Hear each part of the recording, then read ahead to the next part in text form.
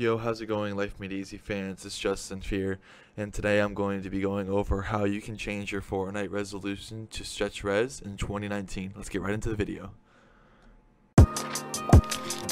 Yeah, I'm like, oh god, oh, oh my god. Hey guys, before the video starts, make sure to subscribe to the channel, turn on notifications, follow me on Twitter, Instagram, Facebook, and also check out my merch store and my Discord. Let's go. Hey guys, today's shout out be going to a guy named Strattree, 20 subscribers. Uh, seems to upload some Fortnite gameplay. And yeah, go subscribe to him, guys, and I'll top into the video.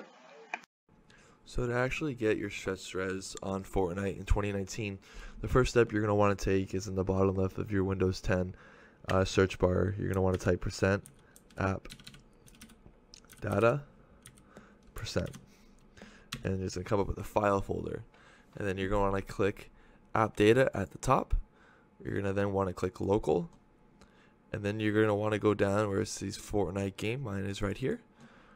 You click saved config Windows client and then game user settings. And before you click onto game user settings you want to first look at the properties of the folder and make sure the read only is not checked. If this is checked then it will not uh, it will not save what you have altered. So once you go into this it's going to come up with a notepad and here is where you change your resolution right here so what you're going to have to do is type in your desired resolution. Uh, for instance, my resolution I play on is 1600 by 1080. This really isn't stretch res, but it is. It still feels like native, but it's just a little bit stretched to lower your FPS if you're having FPS issues, as well as um, if you're trying to make your targets look a little bit bigger.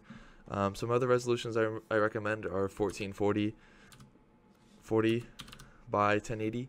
That's a very popular one, but for the sake of this video, I'm going to stick with my resolution of the 1600 by 1080. So once you have your resolutions, you're going to go ahead and type save. And once you do that, you're going to have to go into your NVIDIA control panel. So I have an NVIDIA graphics card if I do not have uh, an AMD graphics card, so unfortunately I cannot help you with that. But this is how you do it with an NVIDIA control panel. So um, if you need to customize the resolution you made, you can do it here by easily picking create custom resolution and, and typing the horizontal vertical pixels and your refresh rate that you desire. Um, or you can pick one of the ones that they offer you so you don't have to do that but since 1600 by 1080 is not offered um, I had to do the custom resolution so once you go ahead and apply your resolution, you're going to want to go to adjust si desktop size and position.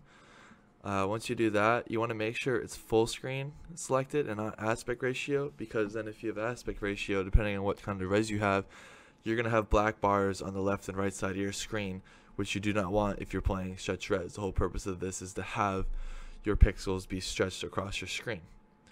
So after you do that and apply, you're going to see that your desktop is now changed to that resolution. And if you ever want to go back to change your resolution back to native uh, or any other resolution, you can just go down to um, where it says PC and click apply.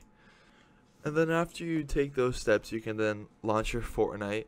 And to make sure and see if it works, you just have to launch your uh, Fortnite, go into video uh, under your settings and look at your 3D resolution make sure that it is your desired resolution as well as your display resolution, which is my 1600 by 1080. Um, I recommend also, um, since I like graphics with this resolution, you also want to turn off shadows. Um, make sure your VSync and motion blur are off if you want to optimize the highest FPS you can possibly get in this game. And now I'm going to roll into a little bit of uh, gameplay so you'll be able to see what exactly this looks like.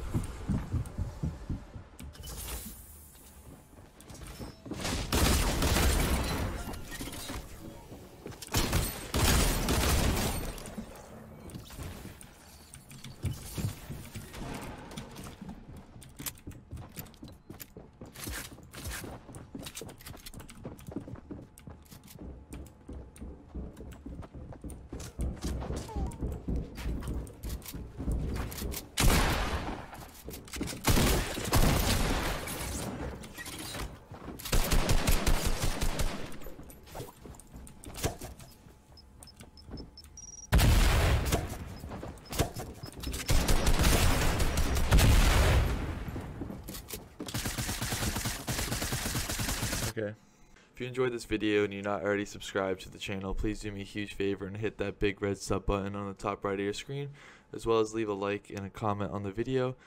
Uh, please turn on your post notifications as well for Life Made Easy because we are going to be posting our 5K subscriber special uh, very soon. I know we're a little bit late, bear with us. Uh, we're almost 400 subscribers past 5,000, and we're very grateful for that. You guys are showing us tremendous feedback. And yeah, this is Justin from Life Made Easy signing out. Peace.